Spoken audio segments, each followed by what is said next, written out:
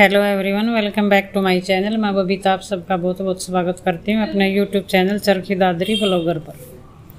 तो यहाँ पे सुबह सुबह मैंने चढ़ा दिया था गैस पे पतीला, इसके अंदर थोड़ा सा पानी डाल दिया था आधी कटोरी के करीब, क्योंकि इसमें मैं भिगोने वाली हूँ बादाम, और यहाँ पर मैंने छोटी सी लौकी थी और दो आलू उनको काट के रख दिया था, क्योंकि बनाने वाली हूँ मैं रायता। तो यहाँ पर मैं आज शाम को बादाम भिगोने भूल गई थी तो मैं आप भिगो रही हूँ गर्म पानी में। तो गर्म पानी में भिगोने से जल्दी छिलका उतर भी जाता है और जल्दी खाने लायक भी हो जाते हैं, सिर्फ़ आधे घंटे के अंदर ही।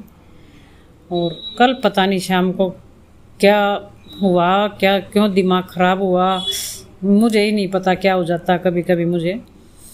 तो बस भूल गई, दूध भी वैसा का वैसा रखा रहा और बादाम भी नहीं। और शाम को जो मैं पतीला रख के सो, सोती हूँ जो, दूध ये के लिए रख देती हूँ शाम को, छलनी वगैरह उसके ऊपर लगा देती हूँ तो वो सुबह जल्दी आता है तो अपने आप डाल के चला जाता है।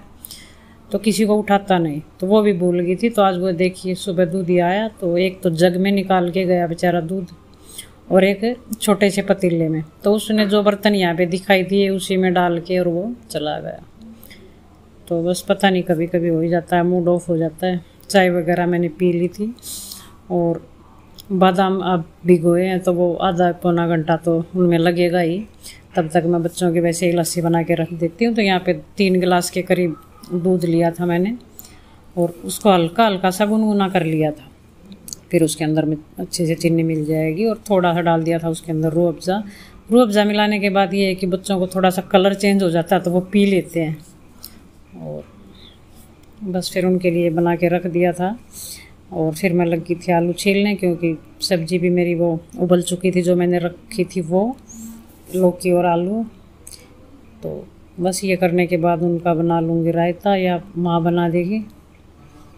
तो आलू छील चुके हैं मेरे, और रायते के लिए हो चुके हैं ये रेडी और रायता बनाने के बाद फिर मैं लगी थी आटा लगाने, क्योंकि रोटी सेकनी थी मैंने अभी पहले तो इन, इनकी सेकूँगी फिर बाद में ही हमारी रोटी बनाऊँगी, क्योंकि इतने जल्दी खाते नहीं हैं। दो बार अब से पहले चाय हो चुकी है हमारी, और ये सिर्फ़ एक बार ही पीते हैं। तो यहाँ पे इनकी थाली रेडी लस्सी का एक कप, इसके अंदर काला नमक और जीरा पाउडर, और आलू का और लौकी का रायता और मेसी रोटी। हमारा वापस से वैसे ही ढक के रख दिया था। तो वो कभी खाएँगे तब बना लेंगे। वैसे तो टाइम हो चुका है साढ़े नौ के करीब हो चुके हैं शायद। दिखाती हूँ आपको। हम्म, साढ़े नौ हो चुके हैं पाँच मिनट बल ऊपर ही हो चुके हैं। तो फिर फिर भी बाद में ही बनाऊँगी क्योंकि चाय पी चुके हैं दो बार। और फिर मैं लगी थी अपना सामान समेटने से ही। कहीं कुछ कहीं कुछ होता ही है घरों में पता ही आपको। तो यहाँ पे अखबार रख देते हैं, पढ़ के यहीं पे रख देते हैं और फिर महीने, दो महीने में इकट्ठे हो जाते हैं, फिर उसको कबाड़ी वाले को दे देते हैं। तब की बार वो दिए नहीं थे बाहर, वैसे के वैसे रख रखे एक जगह स्टोर करके। और यहाँ पे उसके थे आठ दस दिन के भी अखबार फिर से दोबारा तो इनको भी मैं वहीं पे उन्हीं की जगह पे मैं रख दूँगी। और फिर आ गई थी मैं बाहर, यहाँ पे रखी हुई थी कि ये अलमारी तो इसके अंदर है कपड़े जो मेरा बेटा जो वहाँ से गुड़गावा से लेके आया था अपना तो उनके अलग से ही रख दिए थे मैंने उसके कपड़े। लेकिन ये पैंट वगैरह, जीन्स की हैं, फुल बाजू की शर्ट वगैरह तो इनको मैं थैले में डाल के और बेड के अंदर रख दूँगी। क्योंकि वही है ना लॉकडाउन के चलते कहीं जाना तो है नहीं, रहना घर में ही और लोअर और टी शर्ट चलती हैं। तो वो फालतू के थे जो मैंने रख दिए थे बेड के अंदर, फिर आ गई थी मैं किचन में। तो खाना वाना बनाने के बाद मिल रही हूँ मैं आपसे यहाँ पे। तो बर्तन वगैरह हो चुके हैं। खाना सबने खा लिया था। तो साढ़े दस के करीब रोटियाँ बना ली थी मैंने। और बर्तन वगैरह करने के बाद फिर मैं लगी थी अपनी किचन की सफ़ाई करने, क्योंकि ये जो टाइल आपको पीछे दिखाई दे रही है, ये वाइट कलर की है तो कुछ भी इन पर थोड़ा बहुत भी अगर वो चिकनाई होती है तो वो अलग ही दिखाई देती है। और सेम वैसे ही ये जो ऊपर है मेरी अलमारी, ये भी ऐसी है, वाइट कलर में ही है ये भी। तो इन पे भी पता नहीं चिकनाई सी कहाँ से आती है। चाहे नीचे वाला, ये छोटे वाला पंखा में बेशक चलाओ या फिर ऊपर भी एडजस्ट फ़ैन है, उससे भी कोई फ़र्क नहीं पड़ने वाला। जो चिकनाई इनके ऊपर होती है, वो हो ही जाती है। तो फिर एक बार मैं सरफ में कपड़ा भिगो के इनके ऊपर से अच्छे से रगड़ देती हूँ, और फिर साफ़ पानी का कपड़ा इसके ऊपर मार देती हूँ तो बिल्कुल साफ़ हो जाती है। और लास्ट में बारी आती है सिंक की तो फिर मैं वही साबुन इस पे तो जो मैं बर्तन धोने का, ये साबुन जो अपने पास में रखती हूँ विम बार, वही लगा देती हूँ। जो एक मेरे पास लोहे का जूना, उस पर लगा के, क्योंकि ये जो मेरा सिंक है बाहर से भी, जहाँ पे बर्तन रखती हूँ, ये भी स्टील का ही है तो उससे ही रगड़ देती हूँ इसको, और फिर कर दूँगी साफ़ पानी से इसको साफ़। तो सिंक भी बिल्कुल साफ़ हो जाएगा मेरा। और बाकी का झाड़ू पोछा हो चुका है, झाड़ू निकाल ली थी पहले ही। खाना बनाने से पहले और पोछा लग गया था बाद में। तो काम मेरा सारा बस। आज का तो यही था इतना ही। सुबह का तो हो चुका था ग्यारह, सवा ग्यारह या के आसपास शायद हो चुके होंगे। तो ये देखिए रसोई बिल्कुल साफ़ और बाहर भी दिखाती हूँ मैं आपको। काम सारा मेरा हो चुका है सुबह के टाइम का। और यहाँ पे रखा था बाहर ये ट्रिस को रख दूँगी अलमीरा के अंदर। इसकी भी अब कोई ज़रूरत नहीं है, इसकी शाम को ज़रूरत पड़ेगी तो इसको यूज़ करेंगे। और यहाँ पे ये देखिए, हर जगह काम ख़त्म, सवा ग्यारह हो चुके हैं, ग्यारह बज के पंद्रह मिनट हो चुके हैं। और फिर आ गया था कोई पार्सल वाला, कुछ सामान मंगवाया था इससे। तो बस उसी ने बैल बजाई तो फिर मैं बाहर आ गई थी वो लेने उससे। और सामान तो क्या इसके अंदर बुक है, जो मेरे बेटे ने मंगवाई थी अपने लिए। तो बस मैं यहाँ पे वही लेने आई थी और उसको लेने के बाद फिर मैंने यहाँ पे सुखा दिए थे गेहूँ।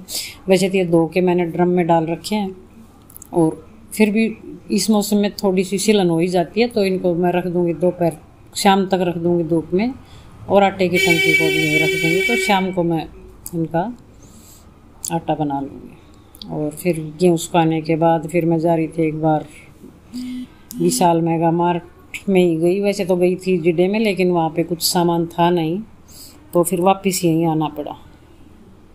तो यहाँ पे कुछ सामान लेना था मैंने। फिर वही होता है ना, जो लेना उसके पास अभी मैं गई नहीं हूँ। सामान तो दो तीन ही लेने थे, कुछ ज़्यादा नहीं। और जहाँ जो सामान देख रही हूँ, उसकी मैंने ज़रूरत भी नहीं थी। लेकिन नज़र मेरे ख्याल में हर औरत की यही होती है कि इसी सामान पे आती है। जो ये टोकरी वगैरह हुई, किचन का सामान हुआ, बर्तन वगैरह हुए। तो बस ये देखने के बाद ऐसा होता है कि बस ये भी ले लें, ये भी ले लें। क्योंकि हैं इतनी सुंदर सुंदर टोकरी। ये देखिए कितनी अच्छी अच्छी डिज़ाइन की आई हुई थी। लेकिन जब कोई ज़रूरत नहीं होती तो वो चीज़ ले ही भी नहीं जाती। तो बस यहीं आना था अंदर। और कुछ खास सामान नहीं था। चावल वगैरह लेके आने थे क्योंकि श्राद्ध शुरू होने वाले हैं। तो सूजी और चावल ज़रूरी आइटम थे और जीरा सिर्फ़ तीन चीज़ों के लिए गई थी। और फिर वहाँ से ले लिए सेमई की पैकेट क्योंकि खीर वीर में ये अच्छी लगती है वैसे। खा लेते हैं बच्चे डालने के बाद।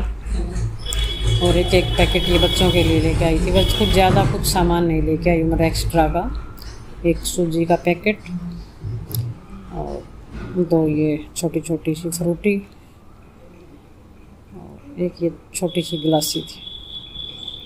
ये हमारी नहीं है बस। और ये दो जीरे की पैकेट छोटी छोटी सी थी। ये भी बड़े वाली जो पैकेट मैं लेना चाहती थी वो नहीं थी। और दो पैकेट ये पॉपकॉर्न और एक काली मिर्च का पैकेट छोटा सा। और बस और कुछ सामान नहीं था। और चावल था इसके अलावा चावल था तो उसको मैंने बाहर रख दिया था धूप में, क्योंकि वो खुले थे, ये बाकी चीज़ें थी पैकेट में। तो इनको मैं डाल दूँगी डिब्बे में वापस से, जिनकी जहाँ ज़रूरत होती है वहीं पे। तो सूजी, पहले की थोड़ी बहुत बची हुई थी तो इसको मैं खाली कर दूँगी और पैकेट हो जाएगा खाली। और जो अब लेके आई थी, उसको मैं यहाँ पे स्टोर करके रख दूँगी। तो ये एक घी का कनस्तर था, जो खाली हो चुका था मेरा। तो ये स्टोरेज की जगह से ही काम आता है। जो एक्स्ट्रा मेरे पास जो ये पैकेट होते हैं, उनको मैं इसमें स्टोर कर देती हूँ। और जो मसाले के होते हैं, उनको मैं अलग स्टोर करती हूँ। और सूजी, मैदा कोकोनट पाउडर मूंगफली, इस टाइप की जो चीज़ें होती हैं, वो मैं इसके अंदर रखती हूँ। तो अपने हिसाब से जो चीज़ रखते हैं तो वो वहीं की वहीं फिर मिल भी जाती है। आज अट्ठाईस अगस्त और कल है उनतीस अगस्त तो कल है मेरी बेटी का बर्थडे तो सीटू बेटा आपको आपके मौसी की तरफ़ से जन्मदिन की ढेर सारी शुभकामनाएँ। खुश रहें, आप अपने मम्मी पापा का नाम रोशन करें और एक दिन खूब बड़े बने आप और भगवान आपको खुश रखे। तो यहाँ पे फिर मैं आ गई थी शाम को किचन में, चक्की मैंने चला रखी थी और बीच बीच में मैं यहाँ पे आके अपना काम कर रही थी। शाम के छः बजने वाले हैं, अभी बजे नहीं हैं तो दाल भिगो के रख दी थी पहले ही। चक्की चला दी थी चार बजे तो दो ढाई घंटे लग ही जाते हैं। पूरा जो टीन है मेरे पास, आटे का, वो मैं भर के रख, एक बार पीस लेती हूँ उसको। तो फिर वो बस थोड़ा बहुत बचा था, फिर चली गई थी लाइट। तो बंद करने के बाद फिर मैं यहाँ पे आ गई थी, दाल रखने के लिए, क्योंकि भिगो के तो रखी हुई थी पहले। और मिक्स दाल बना रही हूँ मैं तो ये जल्दी ही बन जाती है। ज़्यादा इतनी देर भी इसको भिगोने की भी ज़रूरत नहीं पड़ती। और जो चावल बाहर रखे थे, वो फिर थोड़ी देर के लिए अंदर रख दिए थे, वो ठंडे हो चुके थे, फिर उसको डाल दूँगी मैं डिब्बे में। अगर गरम गरम डालती तो फिर इसके अंदर जो छोटे छोटे कीड़े वगैरह हो जाते हैं तो उनका ख़तरा रहता है। और ठंडे होने के बाद कोई दिक्कत नहीं होती। तो उनको डिब्बे में डाल के रख दिया था, यहाँ पे फिर मैं एक प्याज और एक टमाटर निकाल लिया था छोंक के लिए। और साथ साथ में निकाल लिए थे दूध के पतीले, जो फ्रिज के अंदर कोई कप, कोई पतीला सुबह का रखा था वो वाला। तो बस इनकी अदल बदल ऐसे चलती रहती है औरत के लिए, ये तो है ही। और सबको पता भी है। तो ये छोटे मोटे काम बस इस टाइम के यही है। दाल चढ़ा रखी है सुबह का आटा था उसको बाहर निकाल के रख दूँगी। रोटियाँ बनाऊँगी, तब तक वो हल्का सा नरम हो जाएगा। और बस फिर मैं सीख लूँगी यही पे अपनी साथ साथ रोटियाँ। और ताज़ा दूध आने के बाद एक बार फिर से हमने चाय बना ली थी, साढ़े छः पौने सात बजे के करीब।